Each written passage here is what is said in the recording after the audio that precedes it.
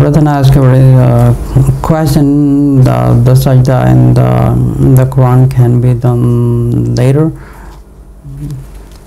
أعوذ بالله من الشيطان الرجيم بسم الله الرحمن الرحيم رب اشرح لي صدري ويسر لي أمري واحلل عقدة من لساني يفقهوا the brother is asking a question if the, the, the sajdas we see in the Quran sajda sahud that we, we can be done later but when we see a later right that has like several meanings later means tomorrow later means later some other time later also means after he done whatever he is reciting and can be done later. So later has several meanings. If he's talking about the later that uh, whatever he is reading he can just do it after completing that that is fine. Or the most appropriate and the proper way to do that is, is when the word of sajda when the sajda comes the, the verses has been ended and the, there's a time of a sajda he has to put a quran on the side and uh, complete his sajda and uh, he also can do whatever he is reading. He can complete his tilawat his recitation then he can do it later.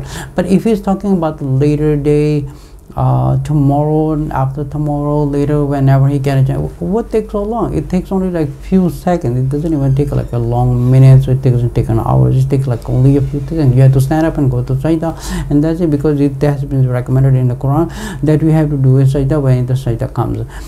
Because when the verse ended that means the sajda time so it is most recommended to do it the right way. And uh, yes you can do that after uh, whatever you're reciting and you complete it and then you uh, do the sajda but this is not uh, allowed. This is not uh, being encouraged.